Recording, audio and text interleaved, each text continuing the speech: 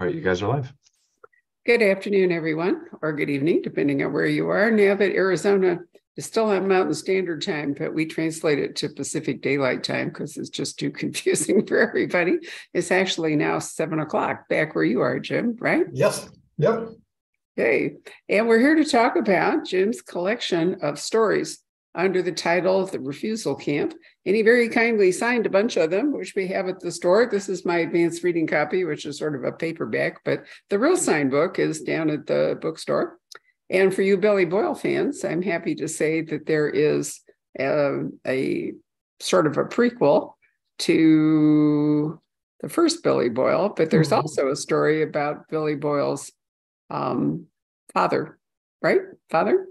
Father and uncle and uncle. So yes. it's kind of an origin story about them in the Boston PD and whatever. But there are other stories as well. So maybe Jim, since I think part of the point of this was not to write Billy Boyle, maybe maybe you'd like to talk about some of the other stories first, and then we'll wind up with Billy. Sure. Um, you know, I have to say, I have always been intimidated by short stories. Um, I tend to write along when, when I'm writing a novel. I like to explore an idea and I may go down a path for a little while and then wind it up and come back. And the thought of zeroing in on a narrative and stripping away all that really, I was intimidated.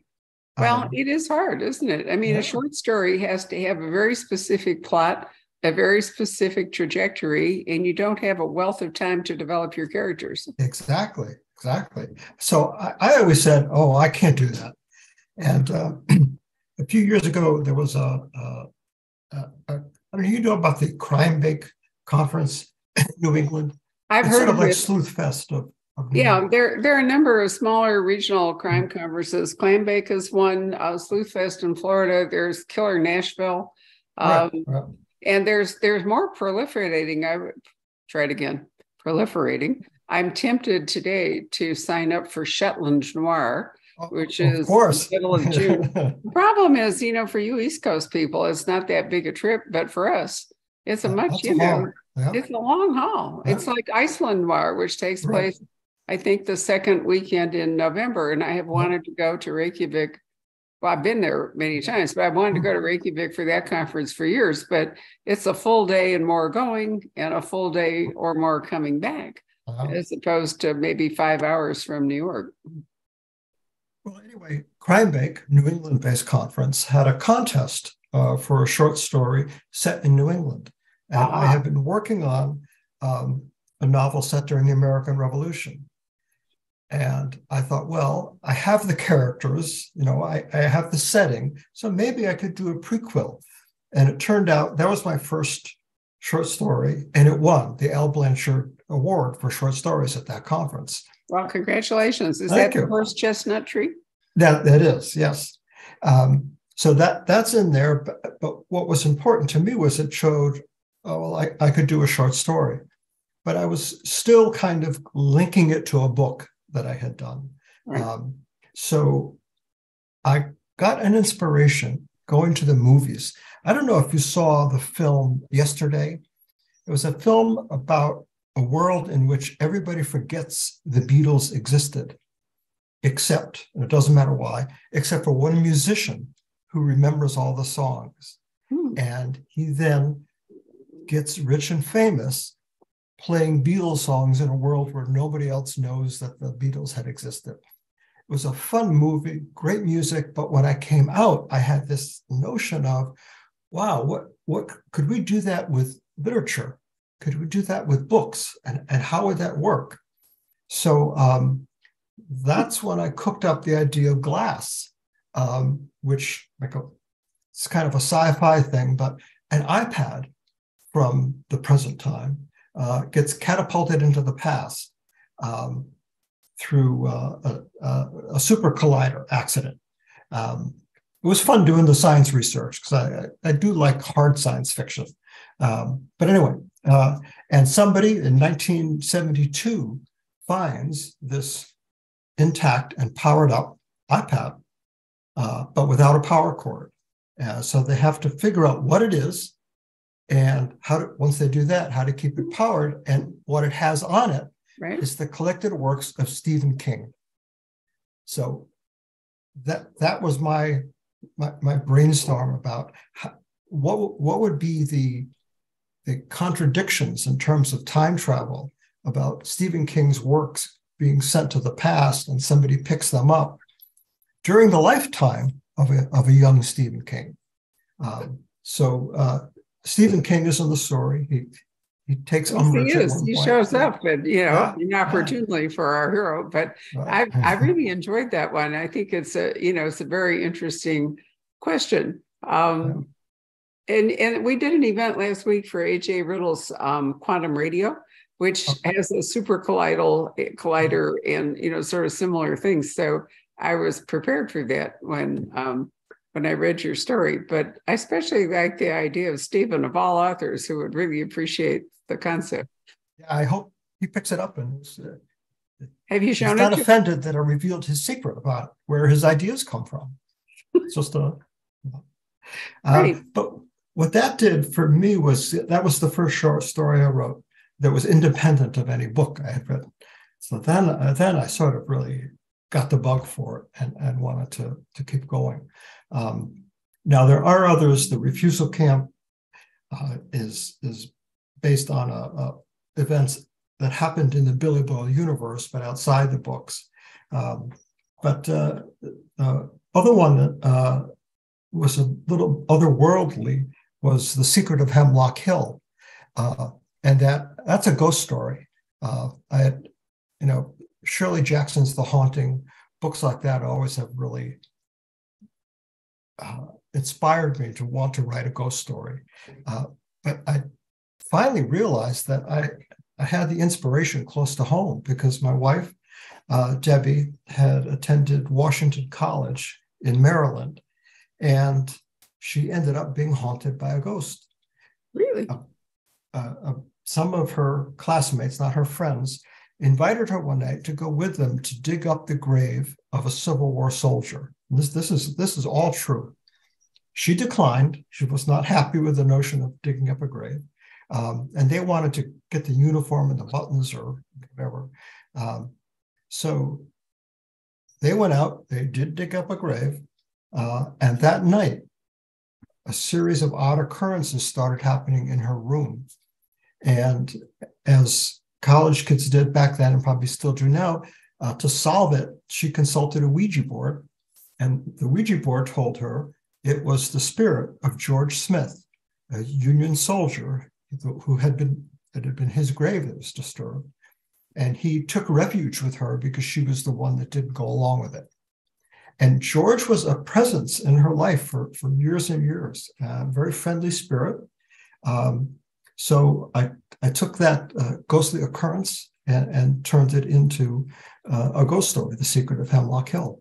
So, and I hope George is pleased with it. Well, try the Ouija board and you can. Yeah, right. I'm a little worried. I'm a little scared to ask. Well, you know, you've got nine stars. I see we've unleashed a monster. I can just Right. see this is going to be coming. But then again, you're a very prolific um, and disciplined writer. So the chance to write more than one novel a year probably really appeals to you. It does, especially the notion of, short, of a short story that I could do a couple in between books or, you know, set the book aside and work for a week on a short story. Uh, it's very freeing. If, you, if I want to do something different, um, it gives me that ability. And there's these little ideas that come up and what to do with them. You can't Sure. write a novel with every idea, but there's a lot of short stories that can be written. Well, you can publish them digitally. There are all kinds of things you can do. You can do them in a Christmas newsletter, or you can, in this case, there are nine collected in this one hardcover book, The Refusal Camp. But that doesn't mean that you don't have, you know, Amazon's been doing really well with its short story collections where they get some authors together and do do stories. You know, for a long time, short story genre took a huge hit because there wasn't any effective way or uh, profitable way to publish them with the demise of print magazines and all that that had been you know where short stories really um, did very well for i don't know victorian era this i mean think of sherlock holmes those were all short stories in the Strand magazine. Um, but with the demise of the printed magazine, uh, we had to wait for the digital age, I guess, to catch up. And, you know, also I've been fortunate in having uh, Alfred Hitchcock Mystery Magazine accept a number of mine. So thank goodness they're still in business. And uh, I think they are Ellery Queen and Alfred Hitchcock, aren't right, they still yeah. both going? Right. And they probably have a fairly devoted. I mean, there are lots of I'm not a short story reader, I have to say, as a general rule. I read so fast that, you know, um, gone before you start reading it. Well, kind of, yeah. Um, I mean, I, there's some wonderful ones. I mean, I, you know, Oh, Henry's The Gift of the Magi is a story I, sure. I often think about. I mean, there are many classic short stories, and mm. every year there's a collection. I think it's Houghton Mifflin publishes um, the best short stories of the year, um, usually in October or November or something like that with a series of Otto Penzler's had a lot to do with that, but there have been a bunch of guest editors. Um, Patrick, whom you know from our staff, he he put together an anthology in the Akashic Urban Noir series. I don't know if you're familiar with them. I've heard of it. Well, it's a it's a remarkable effort and it's been a huge success. They've taken city after city and they have asked authors to write short stories, mystery short stories, because it is called noir, um, that focus on these cities. And I mean, they're just everywhere. And in some cases, they've done maybe two or three for Manhattan. There's certainly more than one LA. And then it got international. So, you know, you have Paris Noir and whatever. Anyway, Patrick did Phoenix Noir. He put that one together. And one of the short stories in that collection won the Edgar for um, Best Short Story. Luis Alberto Urrea wrote one, and the other author of note that was in that uh, up that year, not in Patrick's books, but separately was Dennis Lehane. So it was kind of a surprise that Luis walked off with the award, but he did. Um, and then Patrick did another one focused on um, automobiles. And he had some really interesting contributors. So, you know, you can do a themed collection. Yeah, yeah.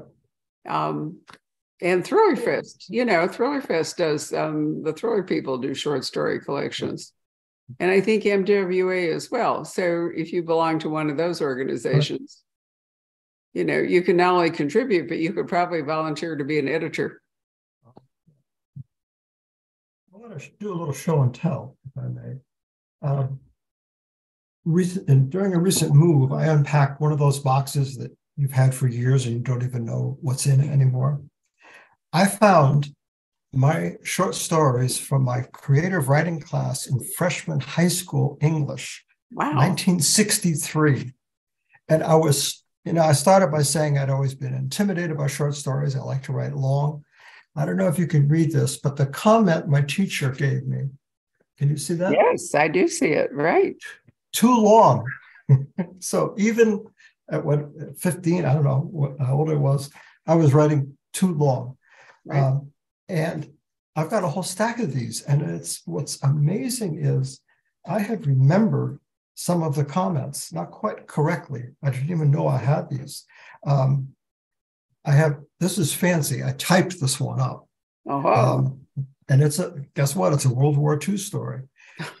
he he wrote a comment that had stayed with me. Uh, so this is a story about a sergeant on a secret mission, and I remembered that he had written on it, next time, make it harder for the sergeant. And it was close to that, um, perhaps a little too easy for the sergeant. And that was a, a, my first lesson in obstacles that I had written a story. It was too easy. He just kept going on and on, and, and nothing really exciting happened. I put a lot of work into this, and he gave me a B minus. So, I, you know, I learned my lesson about obstacles.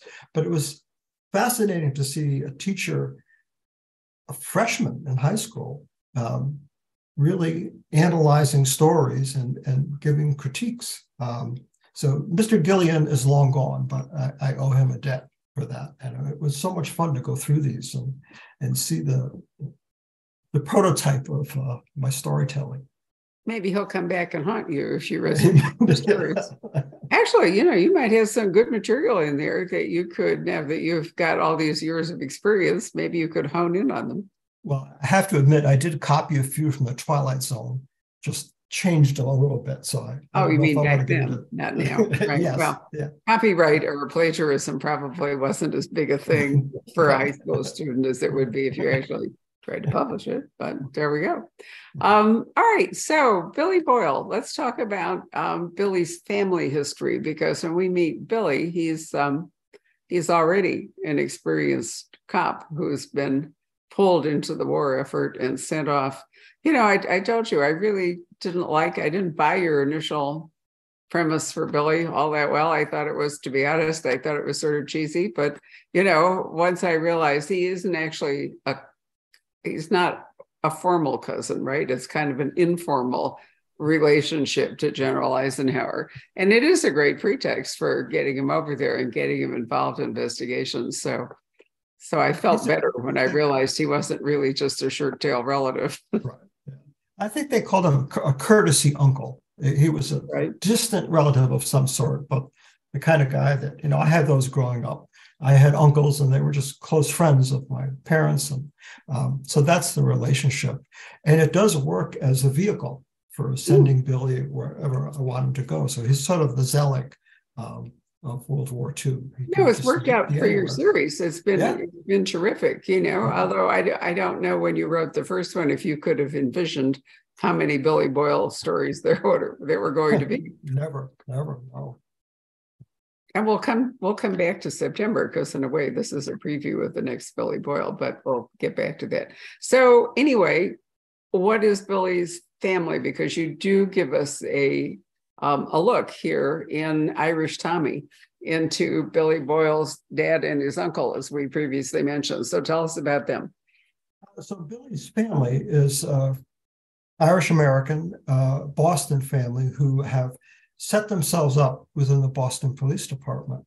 Uh, and the reason for that, for just a little historical perspective, is after World War One, uh, the Boston Police Department did go on strike uh, they had not had uh, a raise in the, the pay grade for a starting policeman since 1860. Good you Lord. can look that up. And the reason is there was so much graft and corruption that everybody figured, well, you can make plenty of money as a cop. Why should we pay you more? Um, but it got to be too much. Uh, the whole department went, the rank and file went on strike. Uh, and Governor Calvin Coolidge uh, uh, called in the National Guard, eliminated the police department, and went looking around for replacements.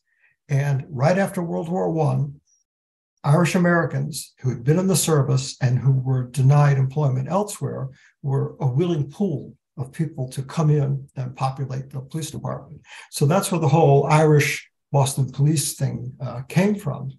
I so didn't realize th- it was that. I thought it was much further back. Was the New York no. Police Department similar? That I don't know. Um, but it was the police strike that really gave them entree into right. the ranks of the because people department. didn't want okay that ah. that's really fascinating i had no idea i just assumed they'd always been irish so billy's uncle dan and uh, his father uh, terrence uh, are detectives and they're the ones who make smooth the way for Billy's uh, ascension to detective. Um, but uh, this story um, takes place during the war, uh, at the time when there were Nazi saboteurs being landed on the coast of New England, uh, Long Island, uh, and being hunted by the FBI and the local police. Uh, so this is really his Uncle Dan story about hunting down um, uh, bank robbers who had uh, taken out an armored car, but also stumbling across a connection to real life um, Nazi spies. So while Billy is overseas doing various kinds of investigations in the army, back home, his uncle and his dad are doing active policing in Boston. What? Yeah. Were they? And, I'm sorry, I was just going to say, I know that that in other I've read many other books which have talked about the difficulties of maintaining law and order in police departments during both wars because so many people enlisted and went overseas. Um, were the father and uncle therefore a little too old for active service, and that's why they stayed as cops in Boston? Yes, they both had served in the First World War. And part of the origin story of Billy is their older brother, Frank, the oldest of the three brothers, was killed uh, in France. And as good Irish Republicans, they always resented the fact that their, their brother Frank had been killed in a war, in their eyes, to save the British Empire.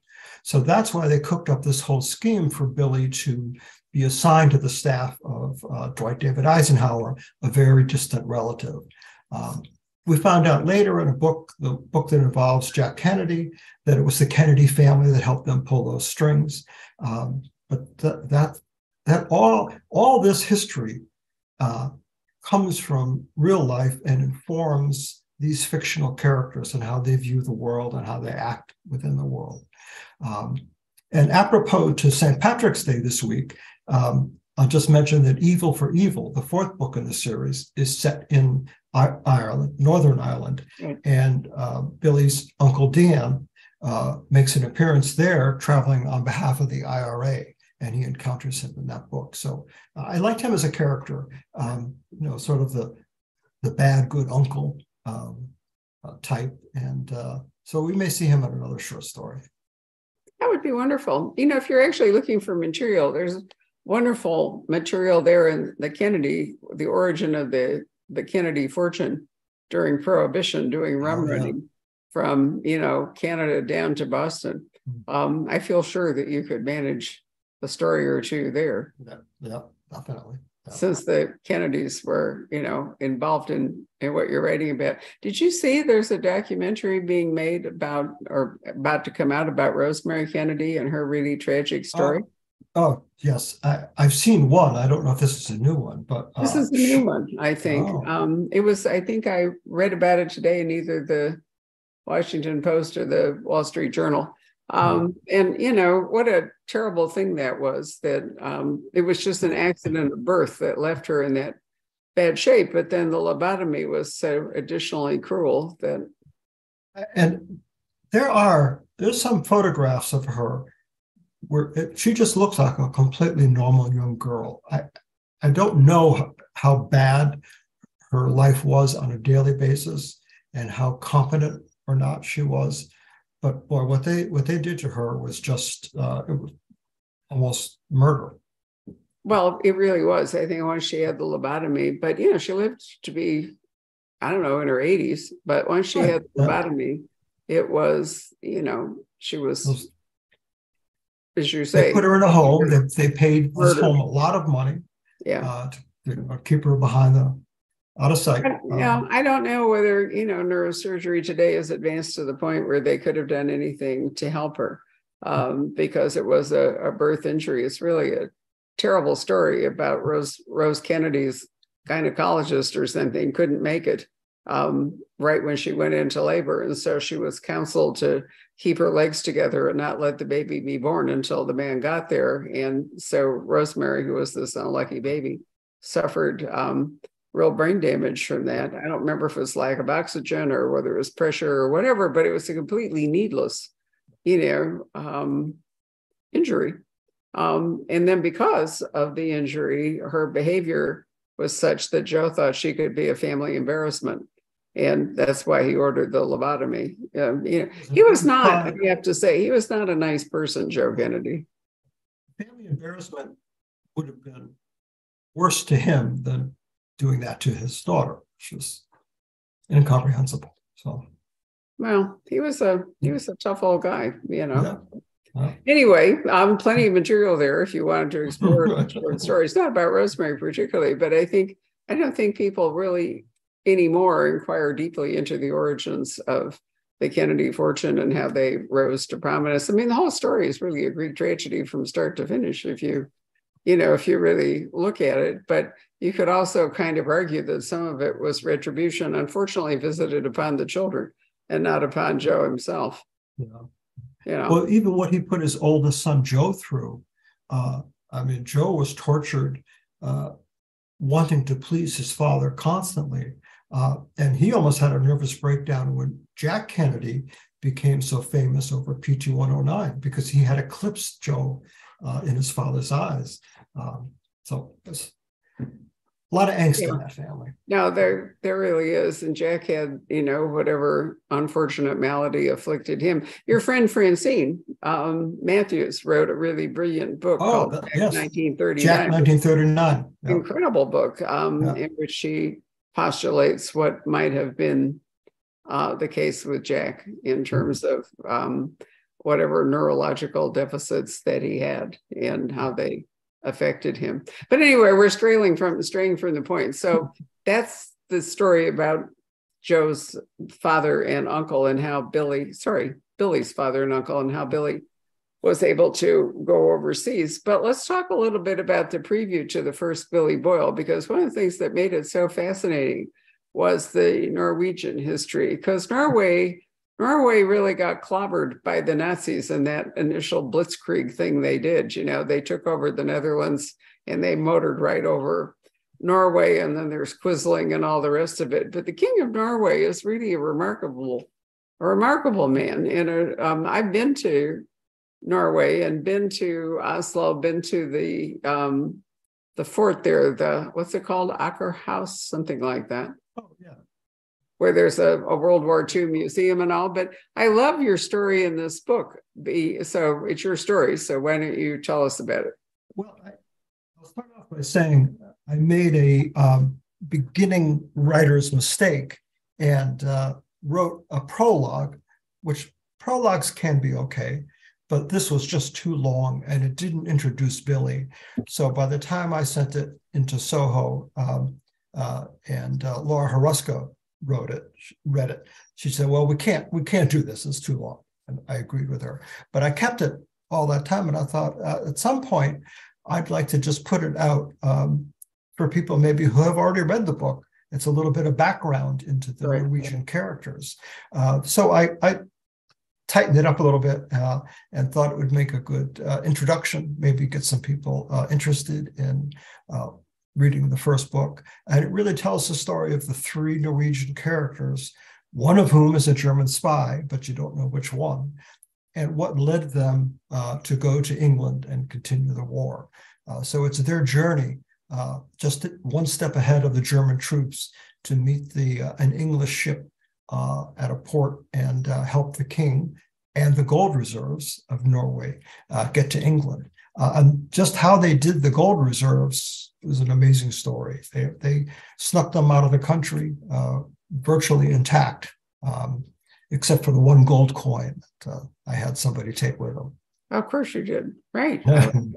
you know, Norway is just, I mean, think of the things that happened there. There was the force that went to, um, uh, their stories based on it. But anyway, didn't they ski across and hit the heavy water plant that right. kept Germany yeah. from really having nuclear power. And then I've been, I'm trying to remember the name of the Norwegian town. We crossed over to it. We were in Lapland, and there's a train that goes from Lapland and it crossed over to this town, which is on the west coast of Norway.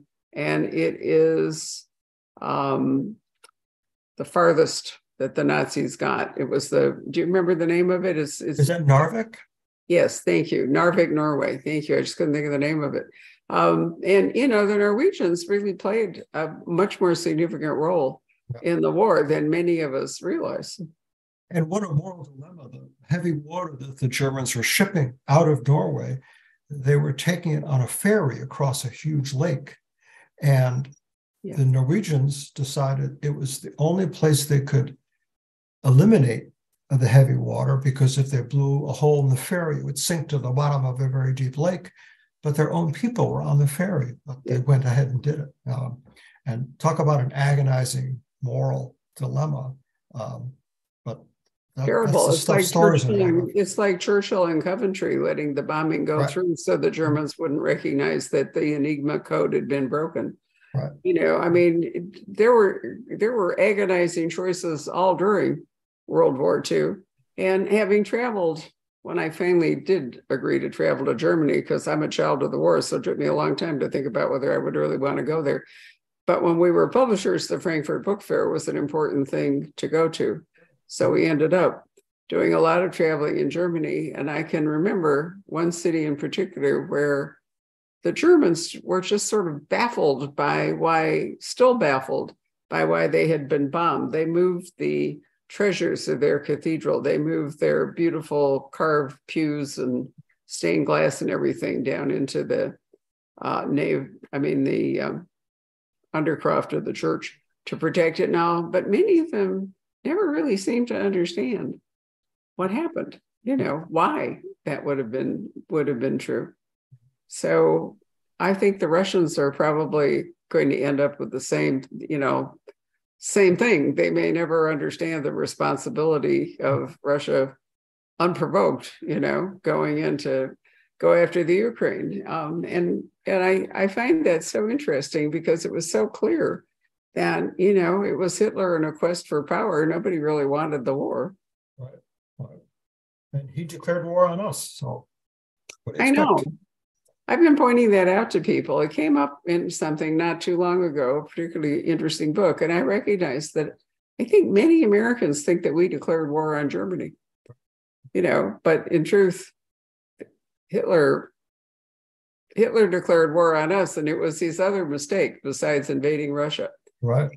There was such a so little appetite among Americans to fight another European war that I think we'd been forced to fight the Japanese, but it's not all clear to me that Roosevelt could have gotten gotten us into war in Europe. But when Hitler gratuitously decided to declare a war in the United States, he solved the whole problem. Yeah. Which nicely brings us to the last story in right. this book, the vengeance weapon. Vengeance weapon. Um, one of the things that I'm intrigued by in stories is uh, switched identities. And this story starts off in a concentration camp, Dora Mittelbau, where slave laborers slave labor was used to create the V2s to build the rockets uh, that, that, were sent against England. Um, and this is a story of, of a, a, a, survivor of that camp who makes his way to the United States by taking on the identity of a, a German scientist who was killed in the last days of the war and ends up working uh, at uh, a NASA like facility uh, and sees one of his tormentors, uh, a scientist from the camp, uh, come to work and uh, creates a plan to get his own vengeance on him. Uh, and it just has themes of themes of switched identities, of revenge, uh, intrigue me. And this this was a tale that I wanted to tell, especially because the more I researched that and learned about Wernher von Braun and his role, it's just the way we whitewashed uh, Nazis like him. And he he was a member of the SS. He was clever. He was only ever photographed in an SS uniform once. He was very careful to cultivate the image of the civilian scientist, even during the war, as he was building the V 2 rockets. Um, and he had a great PR sense, and he sold himself to the Americans. But um, he he knew that thousands of slave laborers uh, were dying under his watch and did nothing about it. So he's I couldn't address killing Wernher von Braun because it didn't happen, but I have a substitute. He stands in to to take the punishment that I think he should have gotten. Well, unfortunately, I think um, many German scientists were whitewashed rather than let them move to the communist camp because the pivot from you know fascism to fighting communism was so rapid. I mean, Churchill saw it as early as 46. I think wasn't his wasn't his uh, Iron Curtain speech. It was 47 or something like that. Right after the war, here here in the U.S., I think. Yeah, but I mean, it was right after the war. So I think yeah. um, even if Stalin was a partner, you know, with the Allies during the war, I think as soon as the war was resolved, it became pretty clear that communist Russia was going to be, you know, a major. And so I think I think a lot of it was that either execute those guys or bring them over and put them to work for us. And you're right that um, it was the moral problem was that these guys actually did deserve to go on trial in Nuremberg and did deserve to be, you know, punished like the more obvious Nazis, but they were too useful. You know, uh, Braun would make a joke. Oh, I, I, I aimed for the moon, but I occasionally hit London. That that was his one liner, and it was he treated it as a joke, which just offended me maybe more than, right. than anything else. Well, he so, was he was certainly big in rocketry, and yeah. you know that the the war does, as war often does, accelerated technological advances. You know, where people are looking for some kind of an edge and yeah. um, in weaponry and so forth, and you know, say what you will, the Germans have been brilliant engineers. Um, I remember when we went to Dubai, I guess the only time I've ever been to Dubai. Um, the airport there is an absolute maze of German engineering. The escalators, the elevators, you know, all of it is, um, and it's it's really remarkable. And you know, I drive a Mercedes, which I my father to the day he died would never buy a Japanese car. He just would not, you know, invest in one, nor a German one you know, it was always going to be General Motors for him. But here I am, you know, with my Mercedes, and Rob has a Volvo, which is Swedish. So, so there we are. But you know, war war memories and shifting alliances really, you know, change things 30, 40 years on after a war. You know, it's like chess. Well, not chess, but you know, some game where everybody realigns the board. And it all makes great grit for writing for stories. Why is World War II so fascinating to you? I, you know, I really put it back to childhood. And when I was a kid, maybe 10 years old, everybody on my street, our dads were all in the war. We all had different stories we heard from them. It was part of the fabric of, uh, of the daily life uh, to talk about what did your dad do in the war and, and whose dad had the the craziest story. Uh, so I think I just grew up with that. And also, uh, my mother was born in Germany, came over as a young child uh, in the 20s. Um, and my grandfather was involved in the German uh, mutiny. Uh, he was a worker in the docks in Hamburg uh, building U boats. and they went on strike to end the war. so he had a lot of stories from a very radical perspective. Um, and I always felt like I had that little connection with that history. So, well, there's some stories. I mean, the war, you know, tragically, but analytically put, is an absolute gift to writers. And you know, currently, uh, one of the reasons I like the Billy Boyle stories so much, aside from you know the grace of your writing and the interesting, in all the interesting places you go, all the different war theaters and all, is that there is such a tsunami currently of World War II stories about women. I feel like I just can't bring myself to read another one. You know, I mean, and and I think it's great because I think that women were heroic in the war in quieter ways, many of them, but you know, did remarkable things. And um, and I think it's great their stories are told, but I think that as publishing often does, it achieves a glut because something became, you know, the nightingale or whatever becomes hugely popular. And then everybody piles on to the point where you think, I just can't read another. It was true after the Da Vinci Code. I used to call them Da Vinci clones. And practically every book that was published was a religious conspiracy thriller. And that went on for quite a while. And you just got to the point where you thought, I don't care how good it is, I just can't read another one. I'll just keep plugging along with Billy. We'll just through this little uh, yeah, this trend. Well, so I understand that the one coming in September is what set in an English village. Yes, I don't know if you've received a, uh, an ARC yet. No. For this one, I, no. I make sure you do. Uh, it's called Proud Sorrows, and because um, I try to uh, modulate uh, the tone of each book, so I, I don't do a repeat of uh, you know exact um, uh, battle or uh, intrigue. Um, so I decided it was time for this whole crew to have a rest. Uh, and you know that Billy's love, Diana Seaton. Uh, her father comes from Seaton Manor out in the English countryside. So they all get a week's leave to relax. And I had been intrigued by a picture I saw of um, a World War II plane uh, being revealed uh, right off the English coast by the shifting tides. And uh, after 60, 70 years, it just sort of came up out of the muck uh, and was salvaged.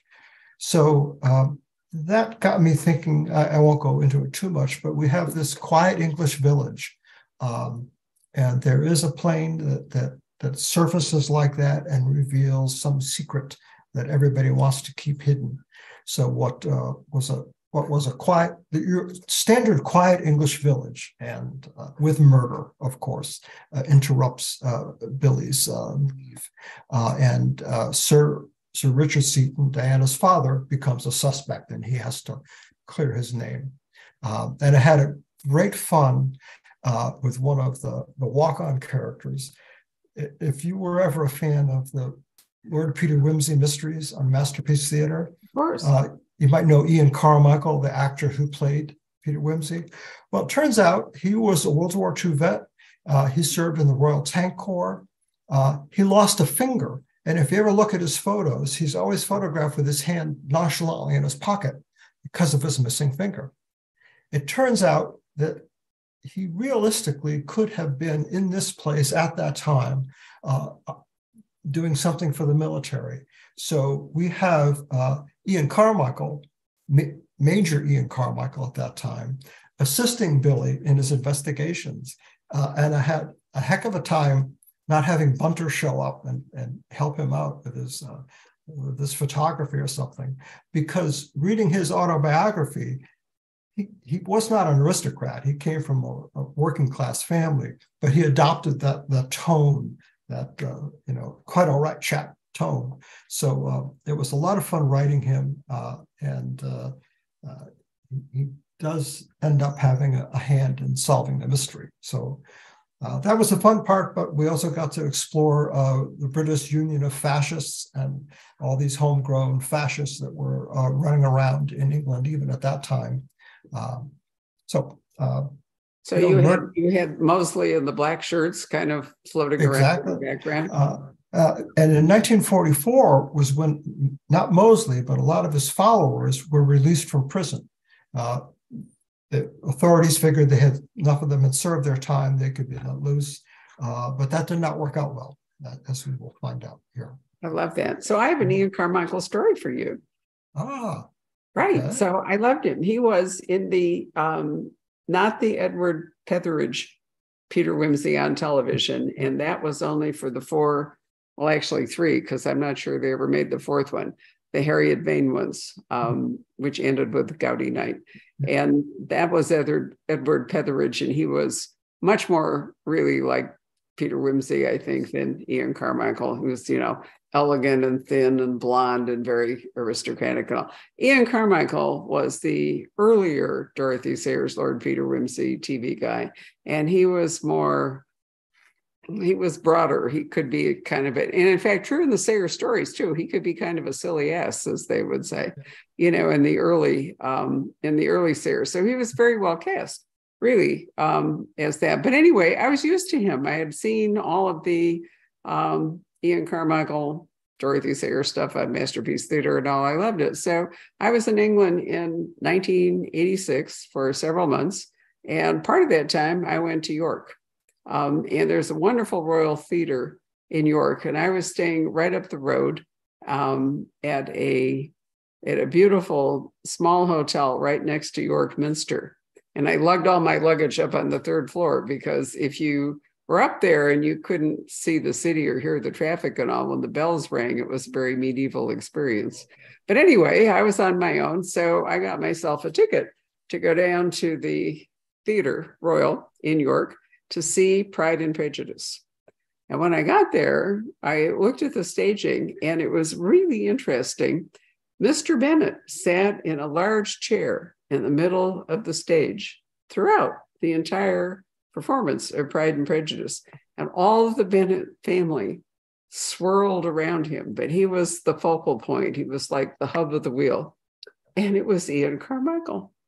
And I kept trying to adjust to Ian Carmichael as Mr. Bennet instead of being Lord Peter Wimsey. But you know what? He was absolutely terrific because really, if you think about it, Mr. Bennet, you know, had a, has a much more substantial role in the lives of of all the characters than he's often given credit for. Um, and and I thought it, it was the best Pride and Prejudice. I liked it still better than any of the other ones, even though it's kind of hard not to love, you know, the couple of interpretations since. And it's also interesting that it's a book that can be portrayed or staged, maybe is a better word. It's a it's a book that can be dramatized differently according to whether it's a live stage performance or whether it's a you know film or whether it's a TV series or depending on the casting and all. But I still see Ian Carmichael sitting there in this big chair in this Georgian kind of a house, and you know all of the sisters and Mr. Darcy and everybody are revolving around him. He never leaves the stage. Wow. wow. It was great. And I was so thankful that I got to see him that way, so that my only memory of him is not just as right. Lord Peter Wimsey, because right. he was a very talented actor. But how wonderful that you've written him into your book. I will really look forward to that. And his autobiography, Will the Real Ian Carmichael, um, is a lot of fun to read. So if, if you haven't, read that. I didn't I didn't even know there was one. So yeah. thank you for letting me know. I will I will certainly engage in that. So Jacob, we've probably exhausted all our blather. Why don't you come forward and see if you have any comments from the audience that would like hearing? He has to appear in the little magic screen. There he is. All right, I got a hardcover copy of your book here too, so we can show. Oh, wonderful. All right. Um, Judy Singer asks, "Hey Jim, how many stories are in your collection, and uh, are any of them about Billy Boyle and friends?" Um, I think it's nine. There are nine stories, and two of them are related to Billy Boyle. Yeah, um, Billy is not in any of them, and no. the, the, notion I have is that there's so many um, characters that appear in one book or maybe two so they, in my mind, they're still going on and living their lives, and there are stories to tell. So I think the more short stories I write probably will not include Billy Boyle because he's in a book every year. So we'll maybe look at some of the subsidiary characters and um, see what we can learn from them. In your Billy Boyle series, do you take a lot of inspiration from actual um, characters in, in real life, actual people, um, actual uh, events? Um, is is that is that part of it, or does it? I think we lost your art, James. That's the touchstone of this. Um, you hearing me okay? Yeah, yeah you have you to stay sitting forward. When you back up, your voice yeah. disappears. Um, poor posture, you know, I'm still here on that.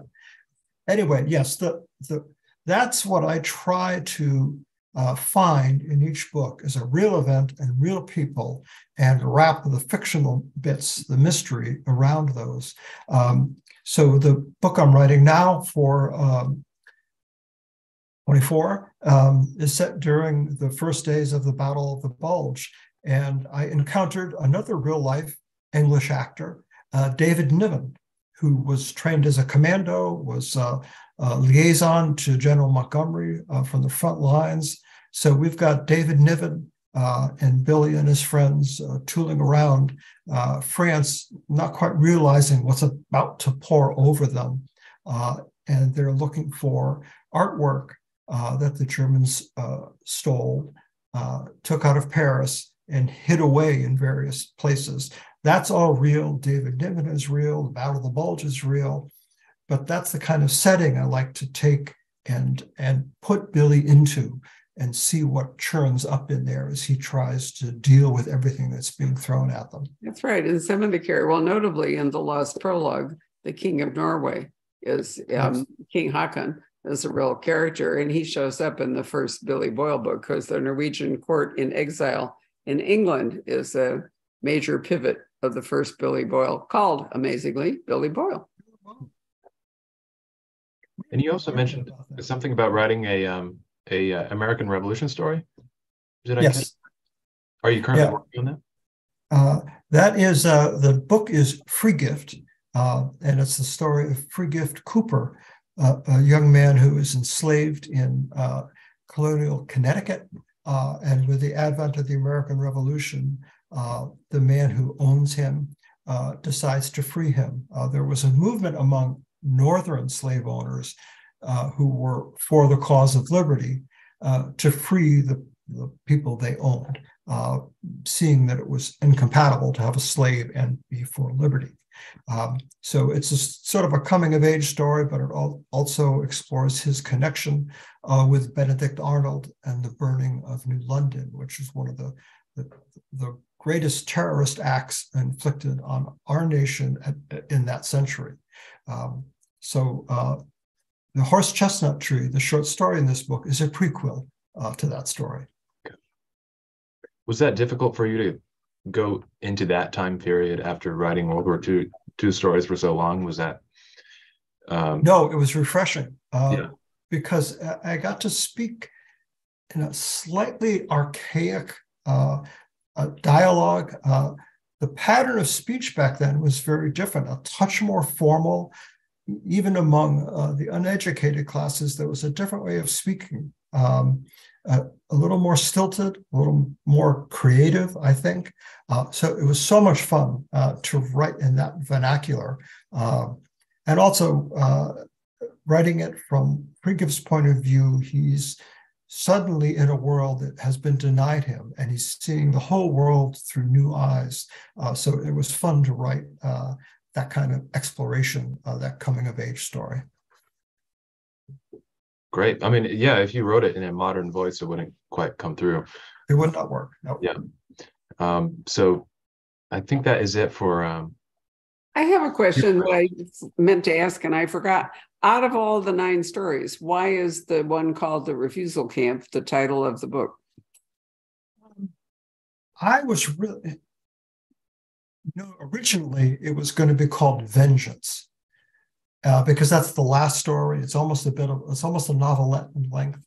Um, but we decided that has too too much, almost like a comic book sense to it, and we could recast. And uh, I suggested the refusal camp because I was really intrigued by the notion of what it meant to be in the refusal camp. Uh, when I first read mention of this in a history of the Ravensbrück, Concentration Camp for Women, uh, a woman said, we, we refused to work on these weapons. We were in the refusal camp. Uh, and I, I, I, thought, what a brave thing that was to say and, and put yourself in that position. And that phrase just stuck with me. So I thought it was uh, a catchy yet meaningful title and communicated more than Vengeance would, which is sort of broad and um, Right. No, I agree with you. That's it. We hadn't talked about the refusal camp, yeah. so I thought that we could end by pointing that out. This is a mm-hmm. really wonderful collection. Um, varied voices, varied theaters. Um, for Billy Boyle fans, there's a lot to love. If you've never read Billy Boyle, this may inspire you to do it. And we will work out something with Jim for September. Do you remember the publication date, Jim, for your September books? It's my birthday, September 5th. Right, which is a really complicated week. But anyway, yeah. Oh, either, oh, yeah. either Jim will come and see us or we will figure out something for September right. because I'm happy to say that he has signed all of his Billy Boyle books for us and now the refusal camp. So we can't break that faith, can we? No. Right. So thank you all very much for joining us. Don't forget, as Jacob is pointing out, we do have autographed copies of the refusal camp. And I think, you know, if you really want to look ahead, this would be a nifty Father's Day gift because even if he's not a great reader, he can dip in and out. One of the great things about short stories is that you can read one comfortably in a relatively short space of time. You can put it, you know, pick it up and put it down. So you could plan ahead and buy dad a gift, right? All right. Good night, everybody. Thanks so much. Thank you very much. You bet. Bye.